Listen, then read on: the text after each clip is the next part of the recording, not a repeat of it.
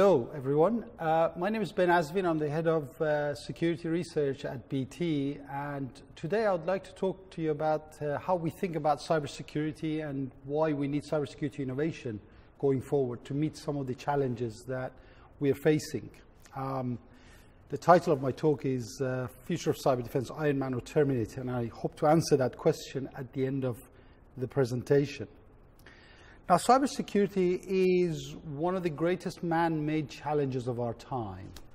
Uh, it's probably right up there with climate change. It's something that we've created. It didn't exist 20, 30 years ago. And uh, it's both a challenge and an opportunity. Um, so every day we see attacks on uh, hospitals and businesses and uh, financial institutions. Um, this is uh, a costing business a huge amount of money, costing governments a lot of money, and so on.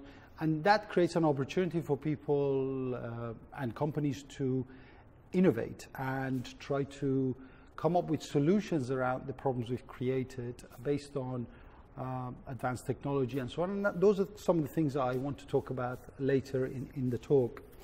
Um, there are a few problems that we have in terms of dealing with cyber attacks. One of the key problems is that we're not very good at uh, responding to attacks. So on average, it takes us about 31 days to um, uh, clean up the operation after a cyber attack. And that's almost like, you know, after a burglary, you take 31 days to change the locks in, in your house. And clearly that's not uh, an acceptable situation. So, you know, how do we, how do we become better at dealing with attacks is part of the problem. Um, in a recent survey, um, it, it, was shown that uh, healthcare organizations are top of the list in terms of uh, uh, targets of cyber attacks. And we've had in the last few months an attack on our NHS, and we all understand the implications of, of operations being cancelled and so on. And and uh, so this is uh, something that we need to deal with, and it's, it's going to affect our lives more and more as we move forward. Um, cybersecurity is hard for two reasons primarily. One reason is that the hackers, the bad guys, are getting better at what they do. Um, and uh, this, this uh, illustration shows the kind of weapons that the bad guys are using to attack organizations and people. And there's an evolution of these weapons. So we move from, say, viruses in the 1990s to worms. Uh, uh, worms are malware that do not require a host, for example, and they could uh, find their way through the infrastructure of organizations so, for example, the recent NHS attack was of the uh, worm type, and it actually uh, spread very, very rapidly within the computers in the NHS. They're more difficult to deal with than viruses, um, um, but they're not new. They've been around since uh, 2000, 2005. And then uh, the weapons sort of morphed into things like spyware and ransomware. Clearly, ransomware, malware that takes over your um, photos and, and data and uh, requires a ransom to uh, um, give you a key to unlock those. Um, a lot of people pay ransomware. The, the, the way to deal with ransomware is to back up your stuff so that if you you lose your control of your data on your hard disk, you still have backups and you don't need to hopefully pay the ransom. And then later on, we'll see, uh, we, we, are beginning to see things like APTs, and these stand for Advanced Persistent Threats. Now, APTs are um, very sophisticated. They're designed often by hacktivists or, um, you know, governments sometimes, and they are very targeted um, and very difficult to stop. And so when we talk about cyber defense, we're talking about how to defend against all of these different types of um, uh, weapons or, or, malware that are being uh, invented almost on a um, you know day-to-day basis. Um, so just to give you some idea of what we're dealing with, over the last six months in BT, we've seen a 1,000 uh, percent increase in the number of threats that we've detected on our network. Every month, we clean about 2 million types of malware on our network. We deal with about 5 million uh, suspected attacks and 250,000 actual attacks. Um, and so, this is why um, cybersecurity is hard because you're uh, dealing with a moving um, target in terms of what you're defending against, and the uh, criminals, the hacktivists are getting far more organized than they used to be. So, um, if you look at what the challenges are in, in, in the near term, clearly some of them are due to technology, and I'll talk about that in detail a little bit later on. But some of them are, are about people. I mean, we, we also need to change the behavior of people to make the cyber attacks less likely. Um, you have, I'm sure, heard of phishing attacks, for example. These are um, emails that uh, come from usually either somebody you know or somebody who uh, uh, is offering you some reward in return for helping them. And uh, they seem very obvious. They usually uh, uh, carry an incentive, like uh, you've won an, a massive award or prize in a lottery, and all you need to do is provide your bank details for the criminals to give you, the, give you that prize or uh, it's usually a, a, link in an email says, well, you know, I've come across this thing that you find very interesting. Would you mind uh, uh, clicking on it? And I'm sure most of you wouldn't click on, on that email. But there are some alarming statistics which says that 90% of these very simple attacks have at least one victim. 23% uh, of, of uh, people who receive them open them. 11% uh, click on a link in the email and 85% of cyber attacks start that simple, you know. So although I'm going to focus a lot on technology, it's not just about technology. It's also about educating people and changing our behavior, becoming a little bit more uh, careful in our attitude online and to emails and in the near future, these same kind of things will happen with SMS, social media, and so on and so forth. So, that said, technology is important. And one of the worrying trends that we see is that uh, cybersecurity is, isn't just about information security anymore. Um, it's not about loss of information. It's not about people uh, stealing your data, but it is about uh, physical attacks on infrastructure. Um, and th- the reason for this is because we have, uh, through the, ad- the invent of the internet, we have come up with very sophisticated ways to monitor our infrastructure um, to make sure that the infrastructure is working properly and so on. But this connection of infrastructure to the internet uh, creates a, a huge vulnerability, um, which means that someone from the other side of the world could attack your physical infrastructure. So when your traffic lights, for example, are connected to the internet, somebody could hack into the traffic lights and change them from the other side of the world. When your uh, chemical plants or oil refineries are connected to the internet, somebody could disrupt the operations. When car plants are connected to the internet, uh, they could be disrupted. The process of, of of, of production of cars could be um, disrupted by attacks. And so what we're seeing is uh, this kind of cyber physical attacks, which are attacks that start in cyberspace but actually impact the physical world. And we've seen some examples of this in terms of water purification plants and uh, critical national infrastructure attacks around the world. And so you know, it's not just about losing information, serious as it may in terms of information, but it's, it's really about protecting our physical world as well. You could imagine that if the wrong type of people, wrong group have this capability, they could do a huge amount of damage uh, by just changing the traffic lights, um, turning them all green or turning them all red or something more sophisticated. So you know, we really need to think very deeply about how do we secure our critical infrastructure. And one of the things that um, I have uh, talked about over the, num- over the last few years is that it's not just about um, you know, putting protection, layers of protection in uh, your uh, IT systems, but it's really about fundamentally changing the way you think about cybersecurity. And here I'm, I'm using uh, a uh, fruit analogy of coconuts and avocados. And when you talk to a lot of companies today, their way of thinking on security is, is very much like a coconut, which is we've got some valuable assets inside our organization. We need a very hard shell around those assets. And once we have the hard shell, we are fine, we're safe.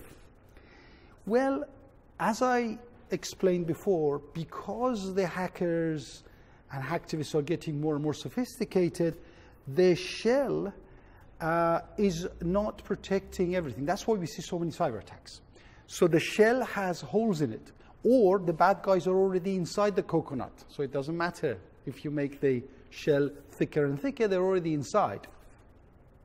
So it's not really a very good way of thinking about security. The way you should be thinking about security is more like an avocado.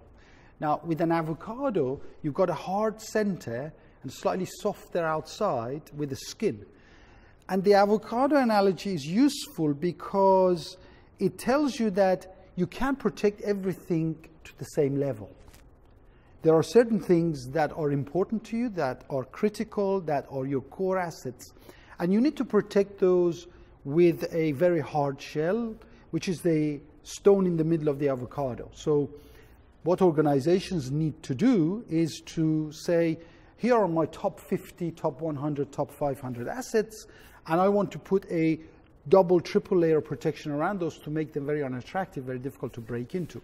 But also recognize that you cannot protect all your assets to the same level. And that's the outside of the avocado. So you can protect some things really, really well, but you can't protect everything to the same level because then you'll be in the coconut model, which means that you're spreading your resources too thinly and you're protecting everything very badly, basically. So the question then is in the avocado world, how do you protect the stuff that is non critical? And the, uh, the way you do that is by moving away from what I call prevention based approach to security to um, complementing that with detection and prediction and then also response. So let me give you an example of this. So let's say that you're a really good um, um, organization from a security perspective and you stop 90% of all the attacks on your organization. 10% will get through. So what do you do with that 10%? Well, if you could detect or predict the 10%, then you could uh, act very quickly to limit the damage and so on. So, you know, the avocado model is as soon as someone tries to get into the avocado through the skin, if you can detect that, you could prevent it. You could stop them from getting further into your critical assets. Um, and that's called sort of detection and, and, prediction. And there's a lot of innovation in that area, which I'm going to come to a, a little bit later. So you've got your prevention, and that's a bit like having good doors and locks in your house. Then you've got your detection and prediction. That's a bit like having a burglar alarm and a police response system. Now, what if they get through all of that, right? That's where you need a rapid response uh, uh, approach, which means that instead of taking 31 days, which is what usually takes to respond to cyber attacks, taking minutes or even seconds. And there's some technology that can help us do that. Um, so, a lot of research uh, in the last few years, including the research in my team, has been focusing on how do you build really good prevention uh, systems around security, but how do you complement that with very advanced detection and prediction? And where we're going in the future is how do you actually automate the response to an attack so that you could press a button and the organization is uh, changed in such a way that the uh, impact of an attack is minimized. Um, within, you know, within minutes or within seconds. So that's one thing I wanted to focus on. If you remember, I said there are two reasons why cybersecurity is really difficult. One reason is that the hackers are getting very good at what they do and they are uh, launching uh, new types of attacks and inventing new weapons.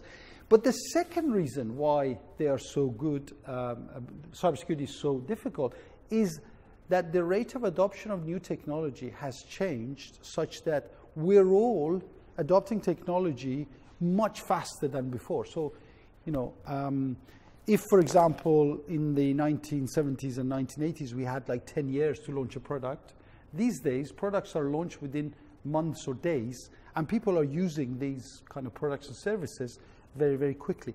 And that introduces a challenge in terms of security because we haven't got enough time to design security into what we're using or what we're selling.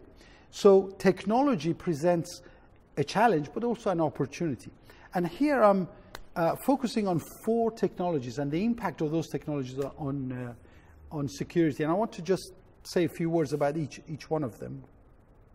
Starting from quantum computing. Now, quantum computing is going to revolutionize um, almost all aspects of computing today. Quantum computers uh, rely on um, encoding information based on quantum properties of uh, um, light particles. And uh, what this allows us to do is to encode a vast amount of information in one quantum bit. Um, the net result of this is that quantum computers will be about 100 million times faster than today's computers. Now that's great news if you are a uh, if you're a uh, researcher looking for uh, cure for cancer, or if you're uh, looking at uh, finding life in outer space, you know, computationally hard problems, because you can solve them in a fraction of the time. So the example I have here is something that takes a thousand years today would take two and a half minutes for a quantum computer. But the bad news is that um, majority of the encryption systems, so these are systems that protect your data when it goes from A to B, are based on um, what we call classical encryption techniques. These classical encryption techniques rely on the fact that it's very, very difficult to break them using conventional computers. So it takes thousands of years for a conventional computer to guess the key to break the communication between uh, two points. And that's good enough because nobody's going to spend, you know, 10,000 years uh, trying to break into uh, our networks. But when quantum computers uh, come around, some people will spend days or months or minutes to actually break them. So it it makes the existing encryption techniques uh, obsolete. So what we're doing here is we're looking post-quantum. We're, we're thinking, you know, and, and, we're not alone. There's a lot of companies who are doing this, thinking, okay, if uh, a quantum computer becomes available, how do we protect our information? How do we protect our networks? And one of the uh, pioneering pieces of work that we've done is uh, we've said, okay, so let's use quantum uh, properties themselves to create uh, ways of encrypting data. Uh, because by definition, uh, quantum properties are um, um, unbreakable in the sense that if you um, create some encryption keys using quantum properties, and if somebody hacks into your network to read those keys, the uh, fundamental laws of physics tell you that the quantum properties change. So it's impossible to measure a quantum property um, without changing the, the actual quantum signal. And we're using that to create something called uh, quantum key distribution.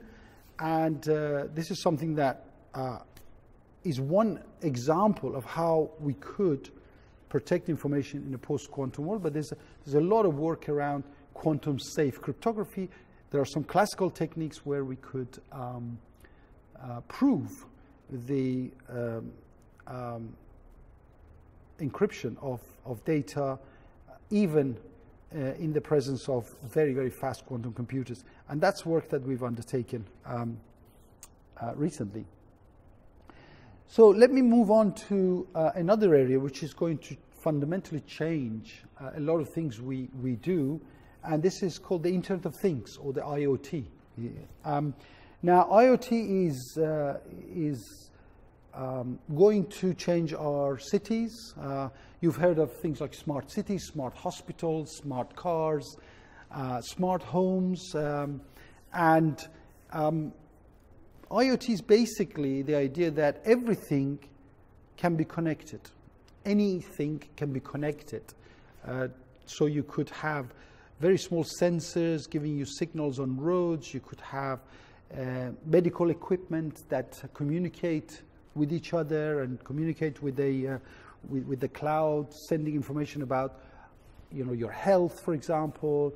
You could have um, um, bins, even people talk about smart bins, bins that send a signal when they're full, so people collect them and people collect the rubbish, and, and uh, it improves the uh, hygiene of, of cities and so on. So there's a lot of really, really good ideas in there. Um, but what uh, IoT does is that it creates a massive challenge for, from a security perspective, because how do you know these things are secure?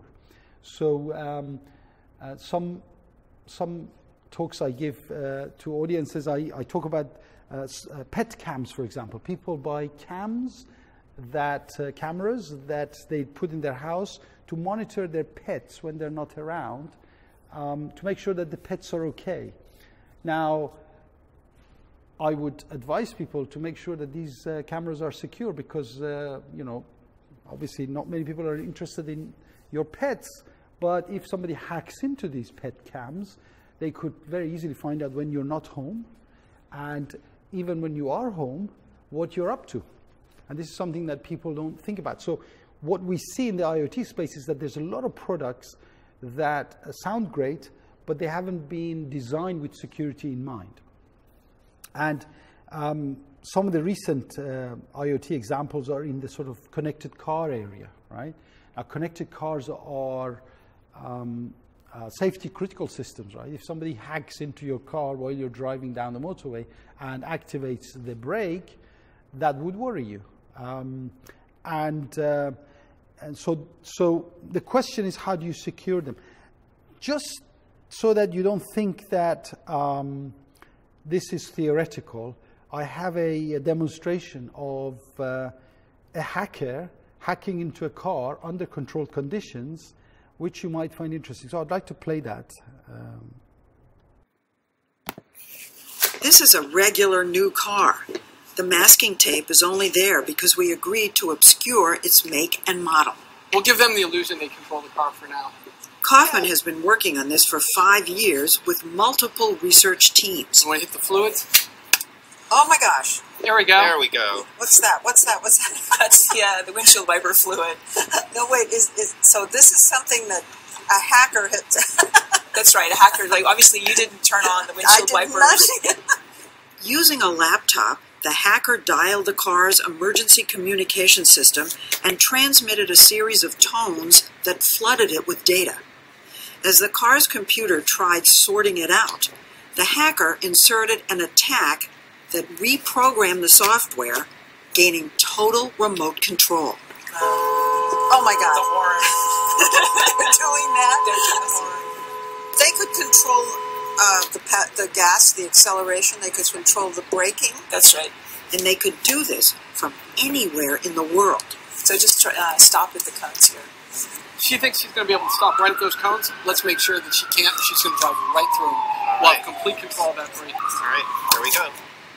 Oh no no no no no no no no no! Brakes I cannot. Work, right? Oh my god! I can't operate the brakes at all. Oh my word! That is frightening. That is frightening.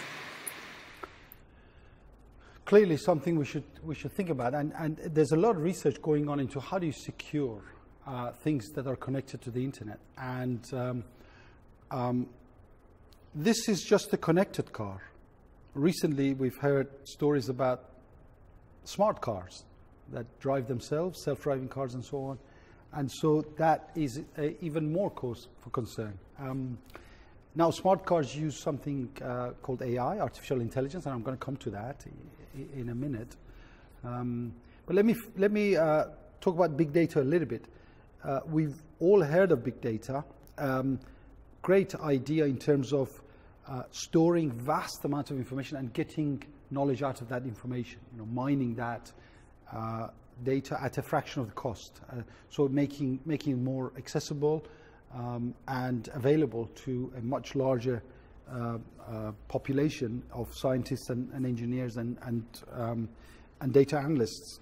Um, the problem with big data is that you know, a lot of people say data is the most valuable asset of an organization. And when you put all your valuable assets in one place, it makes it the target. So the question for us in terms of cybersecurity is how do you actually um, protect that data? So there's a lot of work around encryption of large volumes of data. Um, and uh, you should always think about uh, what happens if that data is breached, right? When you put all your uh, valuable assets in one place, it makes a target, and you should be thinking about that. So there's a lot of research around how do you encrypt large volumes of data and then decrypt it at a speed that's still usable. Um, but the opportunity on the other side of big data is that um, if you remember, I talked about detection and prediction. Now, in the, uh, before the advent of big data, detection and prediction was based on samples. So if you had a cyber attack and you hadn't detected it, uh, unless that cyber attack was represented in the sample of data that you could store, you wouldn't be able to analyze it. Now, with big data, it's possible to analyze all of the data that you have in your, your organization. So it's much more difficult for criminals to hide behind large volumes of data because you could store it and you could um, uh, analyze it and find out what's gone on. And so that's where the big opportunity for big data is, and this is where uh, we are using big data to uh, look at needle in the needle stack. You know, so most cyber attacks are, you know, one ins- one uh, um, um, incident, one event in hundreds of millions of events that you see on, on the internet. So big data allows us to be able to do that um, without having to sample the data mm, to make it uh, uh, computationally um, uh, possible. Now, I want to now focus on AI. So um, now AI is going to have a fundamental impact on our lives in the next half a century, in my view. Um, it is already having impact on our lives in the short term, but I think it's going to have a step change in terms of what we can do with, with AI systems. And what I want to focus on here is uh, the opportunity that AI offers. Now, there's a lot of negative stories about AI, about AI taking over the world and robots, uh, you know, getting rid of humans and killing us and so on and so forth. Now, I think that's mostly driven by journalists and, um, and science fiction movies. I mean, very imaginative kind of, of AI systems. But I have been working in AI for the last 25 years, and I see more good than bad in terms of AI technology. And I want to focus on that um, uh, over the next uh, 10 minutes or so. And um, if you think about AI, you could think about AI in two fundamentally different ways. So the way I've done this slide, I've deliberately uh, looked at AI uh, on the right-hand side, primarily focused on replacing people. If you think about that, it's all about building things that look like people that can replace people, right? But in the bottom left, you see AI systems that help people or enhance people's capabilities, right? Now you're beginning to realize why I called my uh, talk uh, Iron Man or Terminator, the future of cyber defense, right? So the Iron Man model of AI is that you have a human at the center and you create a superhuman by using AI, right? The Terminator model of AI is that you could actually do everything that humans do with a robot that looks like a human and you don't need humans then, clearly, right?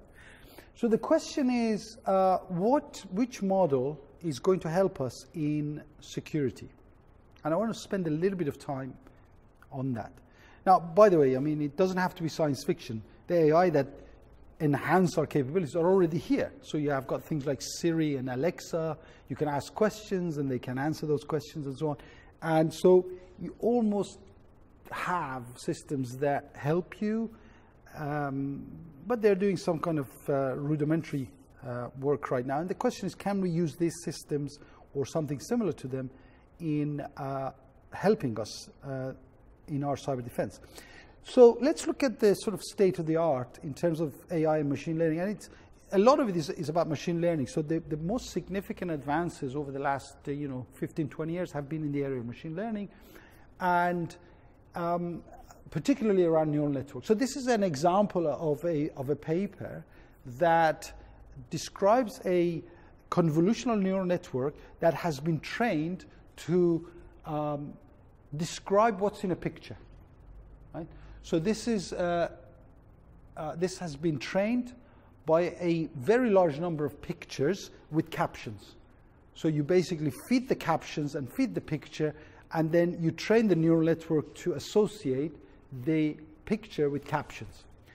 Then you test it, and this is a test with a new picture, and you, you present this picture to it, and it comes back with the explanation on the right, which says a group of people shopping at an outdoor market and there are many vegetables at the fruit stand. Now that's pretty good for an AI system, right? Given that you've done virtually nothing other than give it examples, it's pretty good, right? But is it good enough? Is it good enough? Um, so there are examples where AI systems get things wrong. So again, statistically, they're very good, so they're 99% accurate. But in the uh, occasion when they're not accurate, they give you a conclusion which is, you know, not very accurate. A young boy is holding a baseball bat. Clearly, this is not a baseball bat. So, in a security uh, setting, this might be identified as a threat, which it isn't. Um, and so that's not really acceptable. And AI systems also make some silly mistakes. Like they don't understand context. They understand, you know, what they've been trained to understand, but they don't really have common sense. So this is an example where uh, our beloved uh, Siri um, is going to get it wrong. Now we don't worry about this. Why don't we worry about this? Uh, well, because we ignore it. We are humans. We understand this is stupid, we say, don't be stupid, don't do this, or, you know, you override it. Um, apart from AI systems getting it wrong, which is a problem, AI systems uh, can be fooled, right? So uh, there, there's a whole area of research called adversarial examples where you um, train an AI system with some data. In this case, it's a, uh, network that's uh, designed to recognize animals. You present a picture of an animal, it tells you what it is. So you present it with this, and it tells you it's a panda. And it has 58% confidence in that prediction, which is not bad. You could live with that, right? This is a panda, and it's almost 60% accurate. That's fine. Then you add a very small amount of noise to that picture, which results in the picture on the right. And then you present it to the same machine learning system, neural network, and it says that's a gibbon, and I'm pretty sure it's a gibbon. Right? So, to a human, that's obvious. This is not a gibbon, this is still the same panda, and in fact, you know, there's virtually no, no difference between the two of them. Um, so, when we started looking at how we use AI for cybersecurity, we very quickly came up with this idea that actually it's not AI that we need, it's IA. It's the Iron Man version of, uh, because in all of those examples, if there was a human in the loop, you wouldn't make the mistake, right? I mean, in the Siri example, there is a human in the loop, right? So you'd say, no, I don't want you to call me an ambulance. I want you to, I want you to call me an ambulance. I don't want you to call me ambulance. So that is uh, the human in the loop correcting an AI system. And that's what we call intelligence augmentation. So, can we design systems that cooperate and augment human capability rather than replace them. Now, of course, it's easier said than done, right? In the case of Iron Man, it's science fiction. You could do that. How do you do it in the context of a corporate network with cybersecurity? How do you get AI systems to help humans communicate with them and humans to communicate back to AI systems? This is where we had a uh, uh, eureka moment, you know, about six, seven years ago. We said, why don't we just use visualization? Why don't we get these algorithms to present what they're doing to humans, and then humans just click on what makes sense to them? Right? So we use very simple interfaces to get AI systems to collaborate, cooperate with humans. So we built this system. It's won lots of national and international awards, and it was so good uh, that it was used during the London 2012 Olympics, and it was very successful. But we hadn't even started putting the AI in there yet, and it was very successful because it's so simple to use. So, how does this system work? Well, it's based on the fact that you want to visualize the result of analysis as soon as possible. So, here is a scenario where bad guys are trying to break into our network. So it's a malware. Um, it, it's measuring what malware is trying to get into our network. And what we're doing here, we're using very simple uh, color scheme. We say red's bad, green is good. Red is the computer or the origin of malware, and green is destination. So green is our machines, and red is the bad guys, right? So you see at 620 down there, something happens. The, the analyst is rerunning the data. This is how easy it is. It's almost like a game. The analyst is running the data. This machine 8.90.8, which is in the UK, you can see it on the map, is trying to send malware to a lot of our machines. And suddenly at 620, something happens. And part of the um, innovation behind this kind of systems is that it's very easy for humans to see that, right? Where if you're looking at hundreds of millions of data points, you can't see that. It's very easy to miss that. So in this case, what the system allows the analyst to do, and imagine there's an analyst in front here, you know, that they're running the, the show here. It says, okay, there is a dodgy machine in the UK that's sending malware to a lot of our machines. And suddenly at 620, those number of machines increase. You can actually see the spike on the top right screen, which shows the number of connections. And so this is worrying. Why is a suspicious machine in the UK doing this? So the analyst starts um, investigating further. And in this case, you need more data. You, don't, you just don't have enough data. You go and fetch more data, and you rerun that analysis what you will see is that actually there are more bad guys than you thought, and they're not all in the UK. In this case, they're uh, somewhere in China.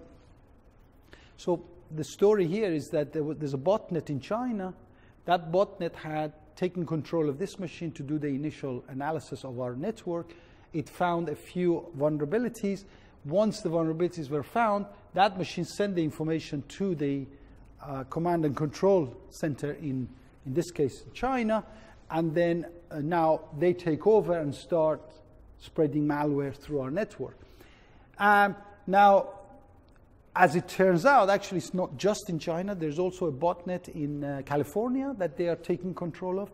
And within three minutes, the analyst, because this is so simple, is able to deal with this because we know where it's coming from, we know which machines are involved. We know which machines are targeted.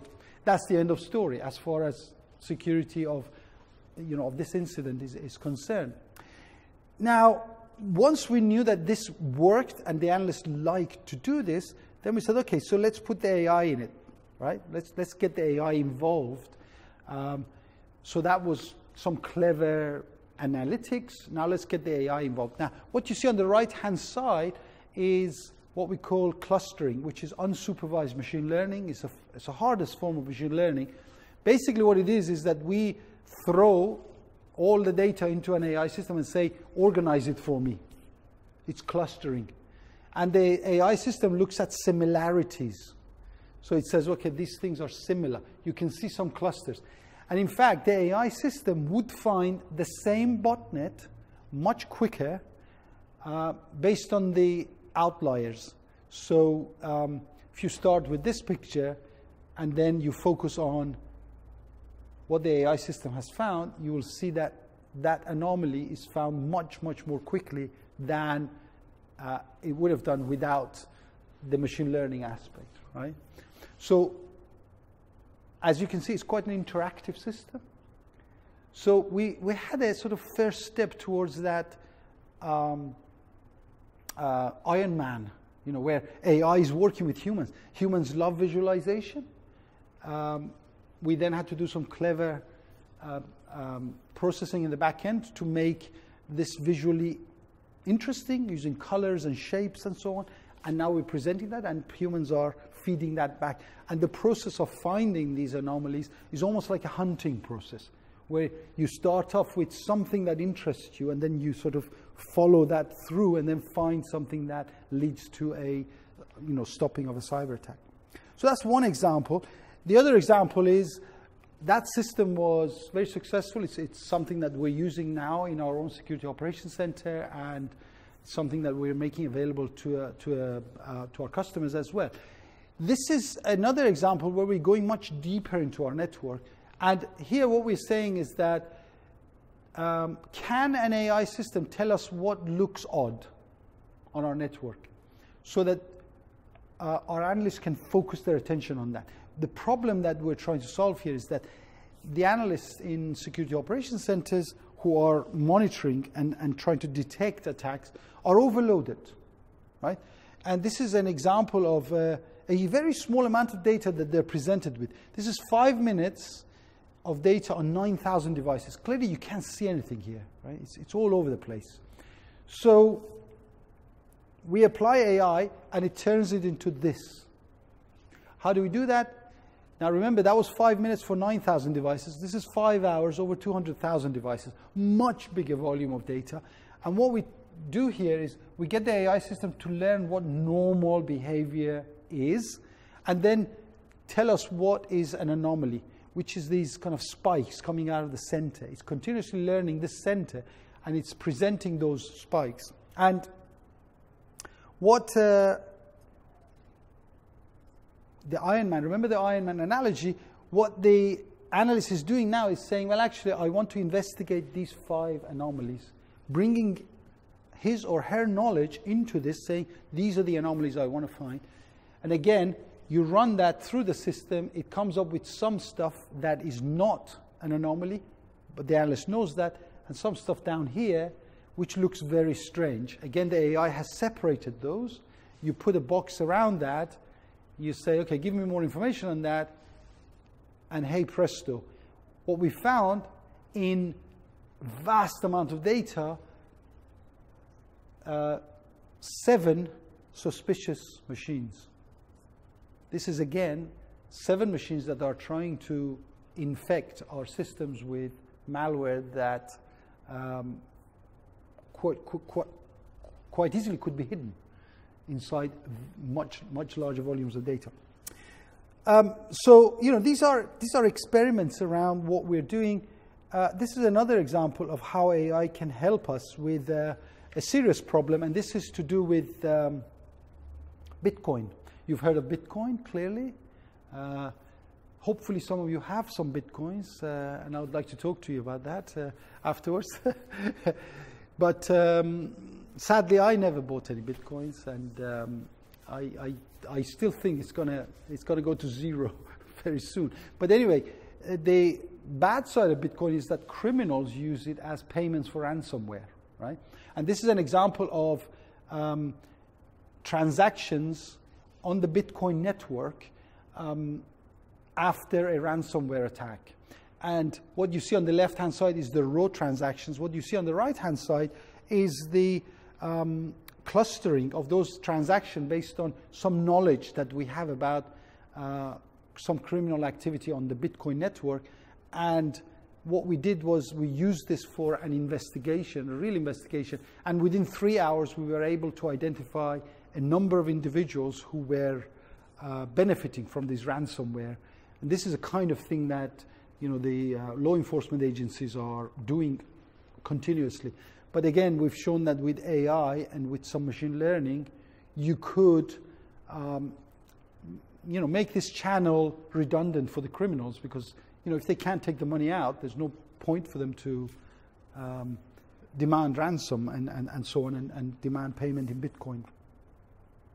So let's look a little bit further into the future. So this Iron Man analogy is working for us and is producing some innovations that's helping us make our network safer. So let's go a little bit further into the future. And you know, what is really important is for humans and machines to work seamlessly together. So we're working on some advanced interfaces using, using uh, devices like a leap motion sensor here. A leap motion sensor is a small device you put next to your computer. It can detect the end of your fingers. And it's a, you can program it to have very rich interactions. So every finger turns into a mouse, for example. And you could program it to recognize almost sign language. And what we're doing here, we're experimenting with this um, the reason for this is because we envisage a situation in the future where, uh, you know, a number of humans stand in front of a big screen solving the problem, hunting the bad guys. And we want to make that as, as uh, transparent and as uh, natural as possible. So you may remember the movie Minority Report where uh, Tom Cruise is uh, is standing in front of a big screen and doing the kind of investigation. That's the kind of thing that we want to be able to do with with more people. Um, we couldn't afford Tom Cruise, so uh, I'm here instead. But, uh, but the idea is that you will, uh, um, uh, you don't need to train people to use this. You know, you get people from network side, the customer service side, security side, all collaborating, injecting their knowledge, interacting with the back-end AI systems to solve problems in a matter of minutes rather than weeks and um, months. Um, and of course, these days you have to have a virtual version of that, virtual reality. And although this looks very nice and uh, it's, uh, the audiences love it, there's a very good reason why we're doing this because it's very difficult to get all the experts into one room to do the analysis. We have 16 security operation centers around the world, you know, ranging from the Australian ones to the USA to Europe and to, to Far East. And so it's important for these analysts to be able to collaborate in a virtual space. Um, you know, attacks don't wait for people to wake up and, and so on. So you need to get these teams together and start the analysis very quickly. So some of the things we're working with are creating virtual environments where um, you could do um, similar kind of analysis, again, in a very immersive virtual environment in real time um, to, to, to tackle some of the um, really sophisticated attacks that, that we see on our, on our, on our network. Uh, so in conclusion, I would like to uh, say that there's a lot of uh, uh research done in AI around the world um, to address some of the shortcomings that I described in my talk. Um, one of those initiatives is XAI, Explainable AI. Um, and the objective of this uh, research is to uh, build AI systems that can not only give you the answer, but explain why. Um, so, for example, on the left, you'll see an, uh, an AI system that identifies a cat. Um, but explainable AI would go further than that and would say why it thinks it's a cat. Because it has uh, fur and whiskers and claws and it has pointy ears and that's where you get more confidence in terms of what the AI system is telling you. And in terms of security, what we are looking for is instead of AI systems coming up with the answer and say, there is a malware in your computer, what we want is to tell us why it thinks it's malware, maybe because it's acting in a strange way, maybe because it's uh, um, copying lots of sensitive information and sending it to suspicious locations on the internet. Um, and by the way, uh, we need to know how serious that threat is. So it needs to tell us, you know, if you don't act within a few minutes, uh, what will happen. And even going further than that, uh, we need AI systems that can actually take action uh, based on uh, what we want. So, you know, do you want me to deal with it? You know, do you want me to remove the malware or stop the uh, network or update the firewall and so on and so forth? So that, that's the kind of AI system that uh, most of the researchers in AI are, are, working towards. And I want to leave you with a, with a quote from um, attributed to Albert Einstein. And I really believe in this, that the future is about uh, AI systems, computers working with humans, enhancing them, uh, enhancing their capabilities, rather than replacing them. And um, so going back to the title of my presentation, I believe the answer is firmly Iron Man type of AI rather than Terminator. Thank you very much.